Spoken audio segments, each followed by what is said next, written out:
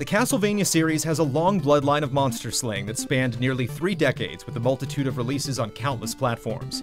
Famous creatures like zombies, werewolves, and Dracula himself have all fallen one by one to the famous whiplash of the Belmont family and their allies. But have you ever stopped to consider who actually works on the popular series? Or rather, what geniuses crafted the original NES classic?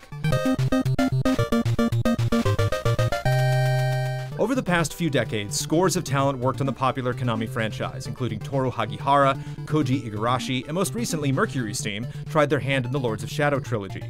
However, there's a mystery surrounding the development team that worked on the first Castlevania game.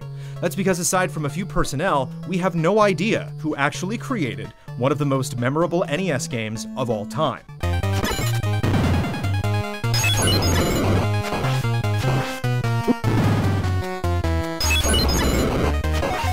Don't believe us? Just pay attention after defeating Dracula when the credits begin to roll. Names begin to appear like most credits, but there's something unusual about these titles.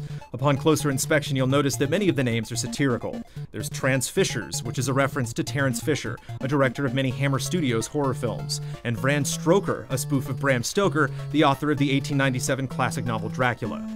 One other oddity is that Simon Belmont's name appears as Simon Belmondo. This is likely due to the fact that his original name in Japanese is Shimon Baramondo. The likely reason the names of the developers were hidden was to protect the talent from being poached by other companies, or to prevent the developers from demanding more money for their work. Going by pseudonyms was the standard for Japanese developers at the time, so if you go back and look at many of your favorite Capcom, Nintendo, and Konami classics, you'll see your fair share of bizarre aliases. The only difference is that looking back, how many of those names were easy to guess. However, in the instance of Castlevania, those names were parodies and thus don't give us much insight into who did what. Many believe that Hitoshi Akamatsu was the mastermind behind the project, but the man has proven elusive for even the staunchest journalists after vanishing from the public eye in the 1990s.